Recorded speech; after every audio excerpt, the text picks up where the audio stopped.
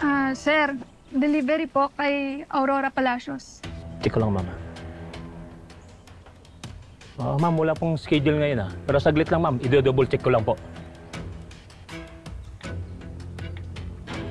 Hello? Luwas, may delivery ba kayo ngayon?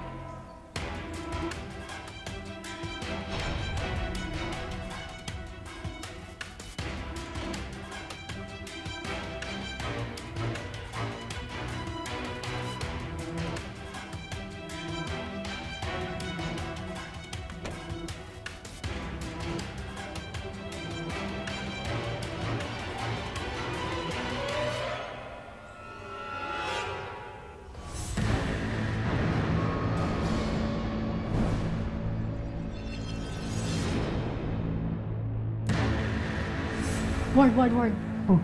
That woman. Siya yung nakita ko sa bintana that night. Yung bintana ni Ate Bev. She's the killer. Siya yung pumatay kay Ate Beverly. Pero eh, hindi ko inaasahan na aabot sa punto yung pati pamilya niya aabandonahin niya.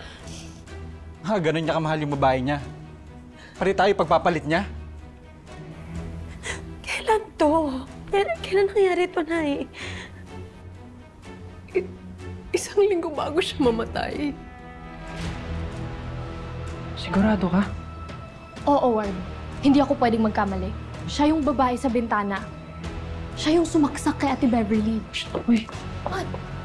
baka mamaya saktan ka niyan. Kung kailan siya, delikado. Hindi ko na pinaalam sa inyo na nagkahiwalay na kami. Kasi bago ko pa masabi sa inyo ang katotohanan, na, namatay na ang papa ninyo. Ay, ayoko, ayoko masira ang magandang alaala niya sa inyo. Nangyari to?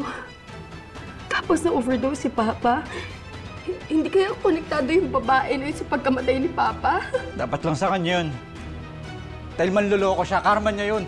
Buti na lang pala namatay siya eh. Francis,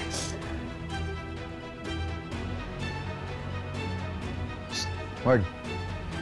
Kuya, ang ginagawa niyo dito? Kuya Jericho, yung babae po sa staff entrance, siya po yung pumatay kay Ate Beverly. Sige po, papya. Ah, nagmamadali po kasi ako. Ah, ma'am, wala po talagang delivery ngayon eh. Biglaan lang po kasi to. Pinadala nung amo mo. Kahit samahan mo pa ako sa loob.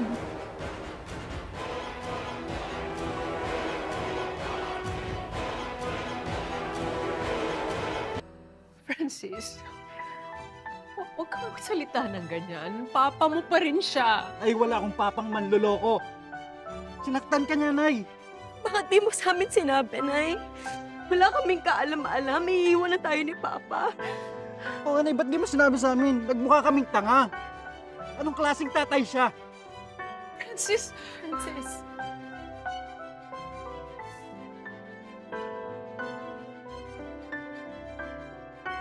Sam,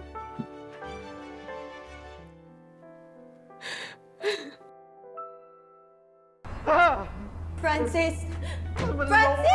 Francis! Manluloko ka! Manluloko ka! Francis, tama na. Isasaktan mo lang ang sarili mo. Ano ka ba? Tama na. Tama na. Ate, iwanan mo muna akong mag-isa. Hindi, hindi kita hayaang saktan mo yung sarili mo. Tama na. Tama na, Francis. Tingin mo ba ako hindi ako nasasaktan? Sa nalaman ko tungkol kay Papa, nasasaktan din ako. Pero tama na. Meron tayong mga importanteng bagay na kailangang harapin. Bumalik muna kayo sa loob. Huwag kayong lalabas hanggat hindi pa ligtas. Sige na, huli na kayo. Sige na.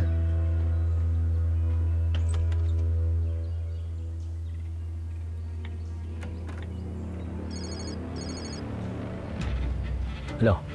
Hello, kuya. Si Jericho to. May babae dyan, di ba? Yes, sir. Makinig ka sa akin. Huwag kang magpapalata.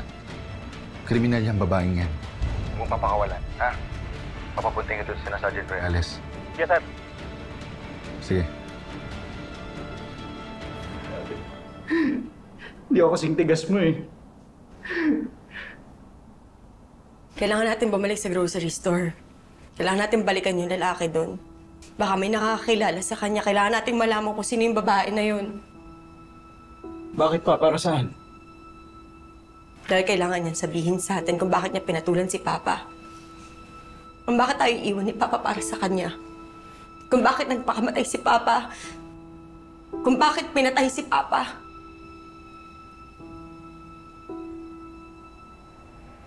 Dad! Dad, nandito po yung killer ni Ate Beverly. What? Nasaan? Nandun po sa may staff entrance. Si Kuya Jericho na daw po bahala dun sa killer. Ah, ma'am, upo mo muna kayo. May i-double check lang.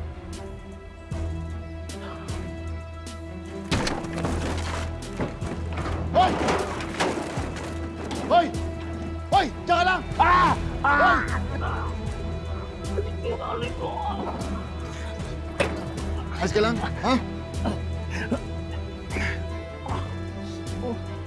Sino daw yung killer, anak?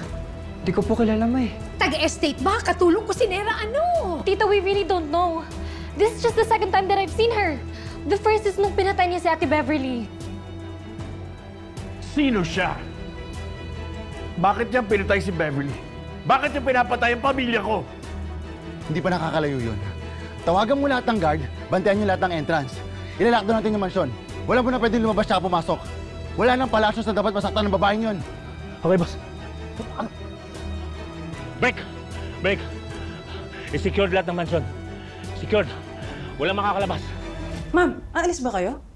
Naka-lockdown yung buong compound, bawal lumabas. Bakit daw naka-lockdown? Hindi pa ko nakiklear sa amin kung bakit, pero galing kay Jericho yung order. Wala kaming pakialam sa lockdown. Aalis kami ng kapatid ko. Marami kaming kailangang ayusin. Hindi ka